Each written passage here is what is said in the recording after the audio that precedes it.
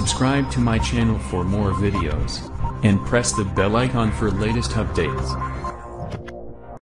بسم اللہ الرحمن الرحیم ڈیئر اسٹوڈنٹ السلام علیکم ڈیئر اسٹوڈنٹ ہم نے چیپٹر نمبر سیکنڈ کا لپڑ کا جو ٹاپک سٹارٹ کیا تھا آج اس کا آخری لیکچر ہے ہم ہم ڈسکس کر رہے ہیں کہ کلاسفیکیشن آف لپڑز میں کون کون سے گروپ آتے ہیں ایک گروپ ہم ٹوٹلی ڈسکرائب کر چکے ہیں ڈسکس کر چکے ہیں آج ہمارا یہ دوسرا گروپ ہے، بلکہ آپ کہہ سکتے ہیں ہم نے ویکسز کو بھی آج کمپلیٹ کرنا ہے فاسولیپڈ کو بھی آج کمپلیٹ کرنا ہے ٹرپینائڈس کو بھی آج کمپلیٹ کرنا ہے۔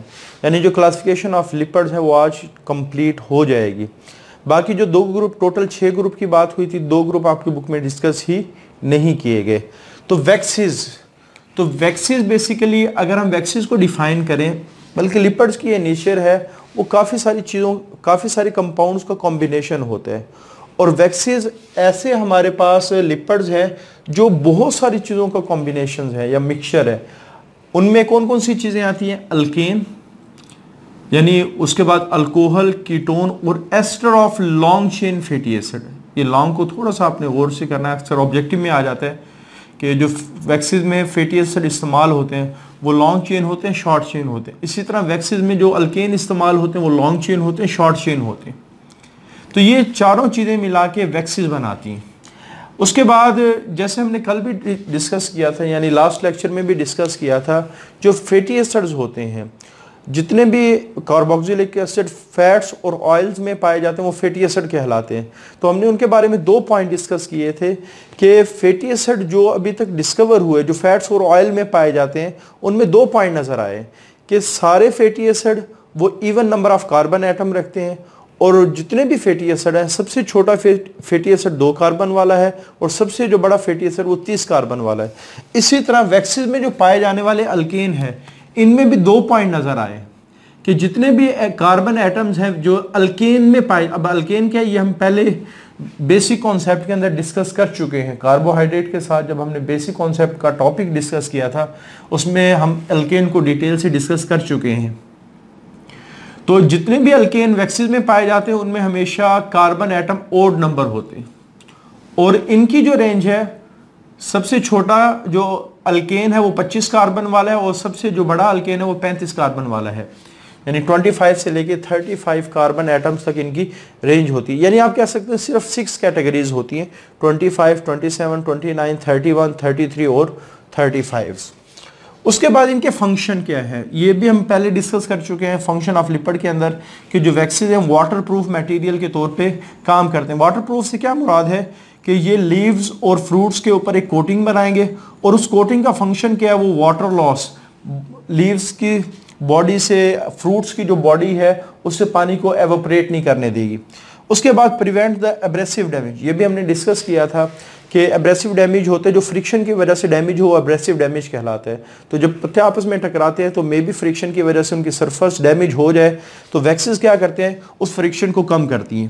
اس کے بعد ایکٹ ہے واٹر بیریئر یہ واٹر بیریئر کا کام کر رہے ہوتے ہیں۔ واٹر بیریئر سے کیا مراد ہے؟ کہ باڈی کے اندر پانی نہیں انٹر ہونے، ان کی سرفس جو ہے وہ باہر سے پانی کو باڈی کے سیل میں انٹر نہیں ہونے دے گی۔ تو یہ انسیکٹس میں بھی ہوتے ہیں، یہ برڈز میں بھی ہوتے ہیں، یہ کافی سارے اینیمل میں بھی ہوتے ہیں، جیسے شیپ وغیرہ۔ اس کے بعد کچھ انسیکٹ ایسے ہیں جو ویکس کو سکریٹ کرتے ہیں۔ جیسے ہانی بیز یہ دو چیزیں بنا رہی ہوتی ہے ایک شہد بھی بناتی ہے آنی بھی بناتی ہے اور دوسرا ویکس بھی بناتی ہے۔ تو اگر اس کا جو قوم ہے، جس کو ہم چھتہ کہتے ہیں، شہد کی مکھی کا چھتا ہے، اس میں اگر آپ دیکھیں دونوں چیزیں سٹور ہوتی ہیں۔ شہد بھی اس میں ہوتے اور ویکسز موم بھی ہوتے ہیں۔ بیسیکلی ویکسز اگر ہم اردو میں اس کو ڈیفائن کریے موم کے لیے ورڈ استعمال ہوتے ہیں۔ اس کے بعد آ جاتے ہیں فاسفو فاسفولیپڈس تو فاسفو لیپڈ بیسیکلی ایسے لیپڈ ہیں جو فاسفوٹائیڈک ایسڈ سے مل کے بنے ہیں۔ اب یہ these are the derivatives of phosphatidic اب یہ فاسفوٹائیڈک ایسڈ کیا ہے؟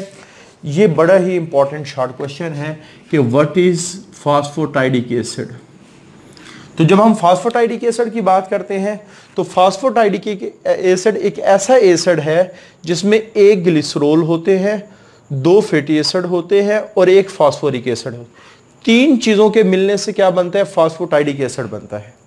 اب یہ تینوں چیزیں آپس میں کیسے جڑیں گی؟ سب سے پہلے آپ لوگوں کو ان کے سٹرکچر آنے چاہیے۔ اور سٹرکچر ہم ان ساروں کے بار بار ڈسکس کر چکے ہیں۔ جیسے گلیسرول، تین کاربن والا الکوہل ہوتے ہیں اور ہر کاربن کے ساتھ کیا لگے ہوتے ہیں؟ او ایچ لگا ہوتے ہیں۔ تو یہاں کاربن کی ویلنسی پوری کرنے کے لیے یہاں دو ہائیڈروجن لگتے ہیں، یہاں ایک ہائیڈروجن یہاں دو ہائیڈروجن اسی طرح فیٹی ایسڈ کا جنرل فارمولا بھی ہم ڈسکس کر چکے ہیں۔ R C W H R C W H کیونکہ دو فیٹی ایسڈ جڑنے ہیں۔ اور phosphoric acid basically phosphoric acid کا جو فارمولا ہے وہ H three P O four ہے۔ اگر آپ اس کا اوپن سٹرکچر لکھیں تو اس طرح بنتا ہے۔ اگر آپ اس سٹرکچر کے اندر دیکھیں تو آپ کو چار آکسیجن نظر آئیں گے، ایک فاسفیٹ نظر آئے گا اور تین ہائیڈروجن نظر آئیں گے۔ تو یہ فاسفورک ایسڈ کا اوپن سٹرکچر ہے۔ اب تینوں چیزیں جڑیں گی کیسے؟ یعنی دو فیٹی ایسڈ ہم نے گلیسرول کے ساتھ جوڑنے ہیں اور ایک فاسفورک ایسڈ جوڑ تو یہ ایسٹر لنکیج کے ذریعے سے جڑیں گے۔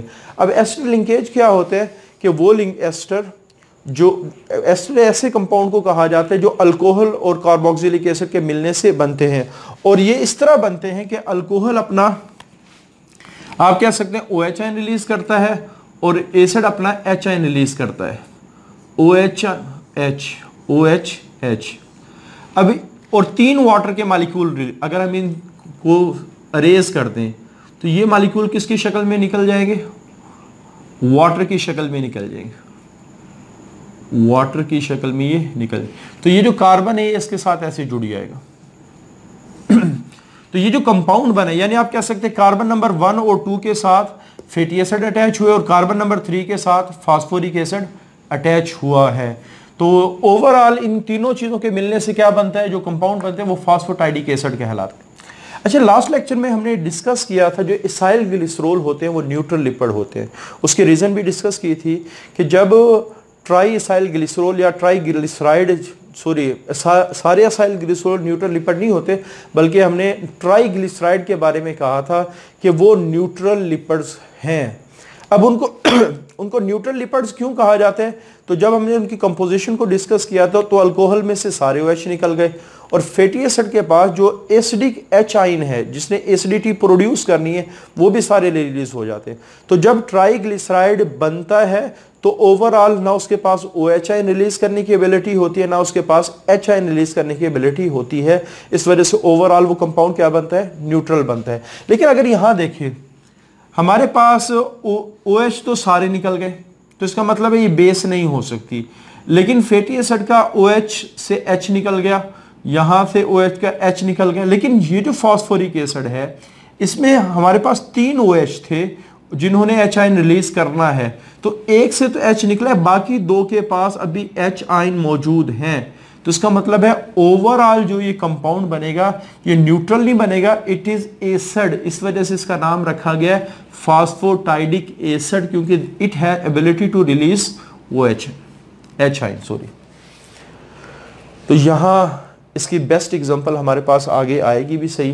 تو فاسفوٹائیڈک ایسڈ بیسیکلی یہ فاسفولیپڈ کے بہت ہی امپورٹنٹ کمپوننٹ ہیں۔ لیکن فاسفو لپڈز کے اندر یوزلی جو فاسفوٹائیڈک ایسڈ ہے، وہ جس کمپاؤنڈ کے ساتھ جڑا ہوتے اسے ہم کہتے ہیں نائٹروجینیس بیس اب یہ نائٹروجینیس بیس بیسیکلی دو ورڈز کا کمبینیشن ہے، کہ یہ نائٹروجینیس ہے، کہ اس میں نائٹروجن ہوتی ہے، اور دوسرا بیس ہے، یہ او ایچ آئن ریلیز کرے گی۔ تو اس وجہ سے ہم کہتے ہیں اس کو نائٹوجینیس بیس کیونکہ یہ او ایچ این ریلیز کرنے کی ایبیلیٹی ہے۔ تو تین اگزمپل آپ کی بک میں دی گئی ہیں کولین سیرین اور ایتھانا کولین کو تھوڑا سا ایکسپلین کیا گیا۔ ہے کولین بیسیکلی یہ ایک نائٹروجینیس بیس ہے۔ اس کا سٹرکچر میں نے یہاں ڈرا کر دیا ہے کہ O H C H two C H two اور نائٹروجن کے ساتھ تین آپ کہہ سکتے ہیں میتھائل گروپ لگے ہیں سی ایچ تھری لگے ہیں، اور اس کے اوپر پوزیٹیو چارج لگا ہے۔ بیسیکلی پازیٹیو چارج کیوں لگایا جاتا ہے؟ کیونکہ نائٹروجن کے اندر جو فری الیکٹران ہے وہ تھری ہیں، جو ان پیئرڈ الیکٹران ہے وہ تھری ہیں۔ اور ہمیشہ جو ان پیئرڈ الیکٹران ہوتے ہیں وہ بانڈنگ میں استعمال ہوتے ہیں۔ اور جو پیئرڈ الیکٹران ہوتے ہیں وہ بانڈنگ میں استعمال نہیں ہوتے۔ تو اس وجہ سے نائٹروجن نائٹروجن آپ کہہ سکتے ہیں تین بانڈ بنا سکتے ہیں لیکن اگر یہ پیئرڈ الیکٹرون بھی استعمال ہو جائیں۔ جیسے کوارڈینیٹ کوولنٹ بانڈ یا آپ لوگ کیمسٹری میں ڈیٹیل سے پڑھیں گے۔ کوارڈینیٹ کوولنٹ بانڈ بعض دفعہ اس پیئرڈ الیکٹرون کو استعمال کر لیتا ہے۔ تو جب بھی یہ پیئرڈ الیکٹرون استعمال ہوگا، تو اس کے اوپر کون سا چارج آئے گا؟ پازیٹیو آ جائے گا۔ جیسے آپ کو یہاں ڈائیگرام میں آپ کو نظر بھی آ رہا ہوگا۔ یہاں دو اگزامپل دی گئی ہیں، ایک امائنو گروپ کی این ایچ تھری کی، وہ ہائیڈروجن آئن کے ساتھ ریئیکٹ کرے این ایچ فور بناتا ہے اور دوسرا واٹر کی۔ تو یہاں آپ کو ایرو کا جو نشان نظر آ رہا ہے بیسیکلی یہ شو کر رہا ہے کہ یہاں سے پیئرڈ الیکٹران نکلے ہیں، اس وجہ سے اوورال کیا چارج آ گیا پوزیٹیو چارج آ گیا.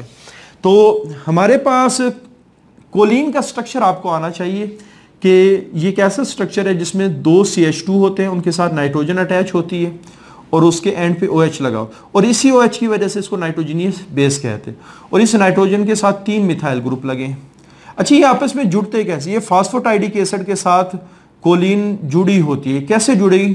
تو اس کا سمپل سا سمپل سا، یہاں یعنی آپ یہ کہہ سکتے ہیں کہ یہاں بھی وہی کام ہوگا جو یہاں ہوا، کہ جو نائٹروجینیس بیس ہے، یہ اپنا ایچ آئی ریلیز کرتی ہے، اور جو ایسڈ ہے، اب یہ اپنا ایچ آئی ریلیز کرتا ہے۔ تو یہ بات وہی آ گئی، چونکہ یہ ایسڈ ہے اوورال کمپاؤنڈ اس وجہ سے اس نے ایچ آئی ریلیز کیا۔ تو اس کاربن کے ساتھ یہ مل جائے گا۔ تو یہ جو سٹرکچر بنا ہے کہ ہم نے فاسفو ٹائڈک ایسڈ کے ساتھ کولین لگا دیا ہے۔ فاسفو ٹائڈک ایسڈ کے ساتھ کولین جڑ گیا ہے۔ تو اس وجہ سے اس کمپاؤنڈ کا نام ہے فاسفو ٹیڈائل کولین فاسفو ٹیڈائل کولین اور اس کا کامن نیم ہے لیسیتھین یہ بڑا ہی امپورٹنٹ شارٹ کوشچن ہے write down the composition of lecithin اگر یہ لیسیتھین کی کمپوزیشن پوچھ لی جائے، تو آپ اس کو اس شارٹ کوشچن کو دو پورشن میں ڈیوائیڈ کریں۔ پہلے آپ کہیں گے lecithin is compose of phosphatidic acid and nitrogenous base choline پھر آپ فاسفوٹائڈک ایسڈ کی کمپوزیشن کو ڈسکس کریں گے کہ فاسفوٹائڈک ایسڈ ہمارے پاس وہ ایسڈ ہے جو ایک گلیسرول دو فیٹی ایسڈ اور ایک فاسفورک ایسڈ سے مل کے بنا ہے۔ اور گلیسرول تین کاربن والا ہے، اس کے پہلے اور دوسرے کاربن کے ساتھ فیٹی ایسڈ اٹیچ ہوتے ہیں اور تیسرے کاربن کے ساتھ فاسفورک گروپ اٹیچ ہوتے ہیں۔ تو یہ جو اوورال کمپاؤنڈ بنا ہے اوورال کمپاؤنڈ بنا ہے، یہ کیا کہلاتے ہیں؟ ہمارے پاس لیسیتھین کہلاتے ہیں یا اس کو فاسفوٹیڈائل کولین کہیں گے۔ اچھا دوسری چیز آپ نے جو ذہن میں رکھنی ہے، یہ تو ہم نے یہاں جو ڈرا کیا ہے، یہ آپ کو سمجھانے کے لیے ڈرا۔ لیکن بک میں آپ کو ڈائیگرام میں نظر بھی آ رہا ہوگا بک میں یہ اس طرح کا سٹرکچر ڈرا کیا ہے، یہ کمپریس سٹرکچر ہے۔ بیسیکلی ہم نے ڈسکس کیا ہے جب بھی ایسٹر کا سی ڈبلو ہم ڈرا کرتے تو او سی او لکھتے ہیں۔ ایسٹر کا لنکیج ہم نے لکھا تھا آر کہ کاربونائل گروپ کے ایک طرف او آر ہو، ایک طرف آر ہو، تو یہ ایسٹر لنکیج کہلاتا اگر ہم نے اس سی او کو کمپریس کرنا ہو تو او سی او لکھتے ہیں تو یہ والا کمپریکس کر کے بک میں لکھا گیا ہے۔ C H two O C O R یعنی C H two O C O R اسی طرح C H C H O C O R اسی طرح سی یہ والا تھوڑا سا اوپن سٹرکچر لکھا گیا ہے کیونکہ اس نے آگے اس کے ساتھ ریئیکٹ کرنا تھا. تو زیادہ تر جب ہم ریئیکشن کروا رہے ہوتے ہیں تو اوپن سٹرکچر کی شکل میں لکھتے ہیں. اس سے سمجھنا آسان ہوتے ہیں لیکن عام طور پہ آپ نے اگر پیپر میں آ جائے تو آپ نے یہ والا سٹرکچر ڈرا کرنا ہے. C H two O C O R C H O C O R C H two O phosphoric acid تھوڑا اوپن سٹرکچر اور یہ اس کے ساتھ کولین جڑی ہے۔ اچھا اگر آپ ڈائیگرام میں دیکھیں تو ڈائیگرام میں آپ کو یہ تصویر بھی نظر آ رہی ہو۔ تو یہ تصویر بیسی فاسفوٹائڈک ایسڈ کی ہے۔ فاسفوٹائڈک ایسڈ کی ہے۔ اور اس تصویر کے تین بڑے پارٹس ہیں۔ جو گول گول آپ کو نظر آ رہا ہوگا، یہ ہیڈ ہے۔ اور یہ جو آپ کو نظر آ رہی ہے گرین کلر کی، یہ آپ اس کو کہہ لیں نیک ہے لیکن یہ اکثر شو نہیں ہم کرتے۔ اور جو دو ٹانگیں نظر آ رہی ہیں بیسیکلی یہ ٹیل کہلاتی۔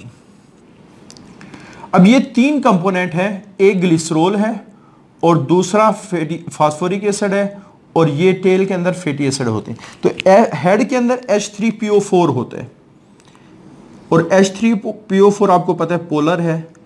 اور جو چیز پولر ہو وہ پانی کے ساتھ محبت کرتی ہے، اس وجہ سے ہم کہتے ہیں اس ڈائیگرام کا جو ہیڈ ہے وہ ہائیڈروفلک ہے، پانی سے مو، اور یہ جو دو ٹانگیں آپ کو نظر آ رہی ہیں فیٹی ایسڈ اور فیٹی ایسڈ آپ کو پتہ ہے نان پولر ہے، اور نان پولر چیز پانی میں حل نہیں ہوتی۔ اس وجہ سے ٹیل کو ہم کہتے ہیں ہائیڈروفوبک ہائیڈروفوبک ہوتی ہے۔ تو اکثر اس ڈائیگرام کی وہ ڈیٹیل پوچھ لیتے ہیں کہ اس کو ایکسپلین کریں۔ تو آپ نے کہنا یہ ڈائیگرام کی جو دو چیزیں ہیں، ایک ہیڈ ہے نیک تو سپوز میں نے لکھی ہے، ویسے اکثر ڈرا نہیں کیا جاتا ہے، ہیڈ ہے اور ٹیل ہے۔ تو ہیڈ ریجن میں یہ ہائیڈروفولک ہائیڈروفلک ہوتا ہے، پولر ہوتا ہے، کیونکہ ہیڈ ریجن میں کیا ہوتا ہے؟ H three P O four ہوتے ہیں اور اس کی ٹیل کے اندر فیٹی ایسڈز ہوتے ہیں اور فیٹی ایسڈ نان پولر ہوتے ہیں، اس وجہ سے ہائیڈروفوبک کہا جاتا ہے۔ اچھا یہ والا جو سٹرکچر ہے، یہ والا جو سٹرکچر ہے، یہ والا سٹرکچر یہ آپ نے کافی جگہ نائن ٹینتھ میں بھی دیکھا ہوگا۔ نائن ٹینتھ میں بھی دیکھ جب ہم پلازما میمبرین کا سٹرکچر ڈرا کرتے ہیں، تو آپ نے دیکھا ہوگا یہ ہم لکھتے ہیں کہ lipid bilayer, lipid bilayer, تو اس میں اس طرح کا سٹرکچر ڈرا کرتے ہیں۔ تو یہی بات یہاں لکھی ہوئی ہے کہ جو فاسفوٹائڈک ایسڈ وغیرہ ہیں یا فاسفولپڈ وغیرہ ہیں بیسیکلی وہ نیچر میں کہاں پائے جاتے ہیں؟ They are mainly associated with the membranes جیسے آپ کو ڈائیگرام میں آپ کو نظر بھی آ رہا ہوگا، تو یہ ایک پوری سیریز آپ کو فاسفو لپڈز کی نظر آ رہی ہوگی۔ لپڈ بائی لیئر چاہے وہ پلازما میمبرین ہے یا دوسری میمبرینز ہے ہمیشہ فاسفو لپڈ بائی لیئر کی وجہ سے ہی بنتی ہیں۔ تو یہ اس کی اکرنس ہے کہ نیچر میں کہاں پائے جاتے اس کے بعد ہے ٹرپینوائڈز اب ٹرپینوائڈز کیا ہوتے ہیں؟ یہ لپ اچھا ٹرپینوائڈز کے بارے میں آپ نے دو پوائنٹ یاد رکھے۔ یہ باقی کلاسز سے تھوڑا سا ہٹ کے ہے۔ باقی کلاسز ہیٹروجینیس گروپ کہلاتی ہیں۔ لیکن جو ٹرپینائڈ ہے، ایک تو یہ نان فیٹی ایسڈ گروپ ہے، اس میں فیٹی ایسڈ نہیں ہوتا۔ لیکن اس کی پراپرٹی چونکہ لپڑ کی طرح تھی اس وجہ سے اس کو لپڑ کے ساتھ رہے اور دوسرا، یہ پولیمرائزیشن کرتا ہے۔ اس میں سملر یونٹ ملتے ہیں۔ جیسے ہم کہتے ہیں نا کاربوہائیڈریٹ میں مونوسکرائڈ ملتے ہیں، پروٹین کے اندر امائنو ایسڈ ملتے ہیں، نیوکلیور ایسڈ کے اندر نیوکلوٹائڈز ملتے ہیں۔ تو ٹرپینائڈز باقی کلاسز سے تھوڑا سا ہٹ کے ہے یہ ایک تو اس میں فیٹی ایسڈ نہیں ہوتا کیونکہ ہم نے لپڈ کو شروع میں ڈیفائن کیا تھا it is a heterogeneous compound heterogeneous group of compound related to fatty acid تو اس وقت بھی میں نے یہ بتایا تھا کہ ہمارے پاس جو چھ کلاسز ہیں، ان میں سے ایک کلاس ایسی ہے جو اس رول کو فالو نہیں کرتی کہ اس میں فیٹی ایسڈ نہیں ہوتا۔ اور اس کے جو یونٹ ہیں، جیسے ہم کہتے ہیں کاربوہائیڈریٹ کے یونٹ مونوسکرائڈ ہیں، اس کے جو یونٹ ہیں وہ آپ کہہ سکتے ہیں آئسوپرینائڈ ہیں۔ اب آئسوپرینائڈ ہیں کیا بیسیکلی یہ کمپاؤنڈ ہے جو چار کاربن سے مل کے بنا ہے۔ ایک، دو، تین، چار۔ پہلے اور دوسرے کاربن پہلے اور تیسرے کاربن میں ڈبل بانڈ ہوتا ہے اور دوسرے کاربن کے ساتھ سی ایچ تھری جڑا ہوتا ہے اب اس کے ساتھ آپ ہائیڈروجن لگائیں، اس کے ساتھ دو ہائیڈروجن لگے گی۔ اس کے چار بانڈ پورے ہیں، اس کے ساتھ کوئی نہیں لگے گی۔ اس کے ساتھ ایک لگے گی، اس کے ساتھ دو لگے تو یہ جو کمپاؤنڈ بنا ہے، یہ آئسوپرینائڈ کا ریپیٹنگ یونٹ سے کیا مراد ہے کہ آئسوپرینائڈ جڑا پھر اس کے ساتھ دوبارہ آئسو پرینائڈ ریپیٹ ہو۔ جیسے دیوار ہے، دیوار اینٹوں سے مل کے بنی تو اینٹ ریپیٹنگ یونٹ ہے کہ پہلے اینٹ لگی، پھر اس کے اوپر اینٹ لگی، پھر اس کے اوپر اینٹ لگی، پھر اس کے اوپر اینٹ لگی۔ اس وجہ سے اس کو کہا جاتا ہے ریپیٹنگ تو ٹرپینوائڈز یہ آئسو پرینوائڈ ریپیٹنگ یونٹ سے مل کے بن اور جس ریاکشن سے مل کے بنتا ہے، اسے کنڈنسیشن ریاکشن کہتے ہیں۔ بیسیکلی ہمارے پاس جب کوئی چھوٹی چیز کو ملا کے بڑی چیز بنایا جا رہا ہوتا ہے تو عمومی طور پہ دو ریئیکشن استعمال ہوتے ہیں۔ ایک کو ہم کہتے ہیں ایڈیشن ریئیکشنز ایڈیشن ریئیکشن میں کیا ہوتے ہیں؟ ایڈیشن ریئیکشن میں کیا ہوتے ہیں کہ جیسے 3 plus three is equal to six یہ addition reaction condensation condensation reaction میں کیا ہوتا ہے 3 plus three is equal to three point five plus zero point five اب اس کا کیا مطلب ہے؟ کہ اگر ایڈیشن ریئیکشن میں دو چیزیں ملیں، جو ہمارے پاس بڑی چیز بنے، وہ ان کا کمولیٹی پروڈکٹ ہو۔ ان کے مجموعے کے برابر ہو۔ لیکن کنڈنسیشن ریئیکشن میں جب دو چیزیں ملے ایک بہت بڑی چیز کے ساتھ ساتھ ایک چھوٹا سا مالیکول ریلیز ہو تو یہ کنڈنسیشن ریئیکشن کہلاتے ہیں۔ جیسے ایسٹر فارمیشن ہوئی، واٹر کا مالی، اب ایسٹر ایک بڑا کمپاؤنڈ ہے، اس کے ساتھ واٹر نکلا۔ مونوسکرائڈ مل کے پولیسکرائڈ بنے۔ اب پولیسکرائڈ ایک بہت بڑا مالیکول ہے، لیکن اس کے ساتھ ایک چھوٹا سا واٹر کا مالیکول نکلا۔ اسی طرح پیپٹائڈ بانڈ کا بننا، امائنو ایسڈ کا آپس میں جو، اب امائنو ایسڈ پروٹین بناتے، پروٹین ایک بہت بڑا مالیکول ہے، لیکن واٹر ایک چھوٹا سا مالیکول ہے۔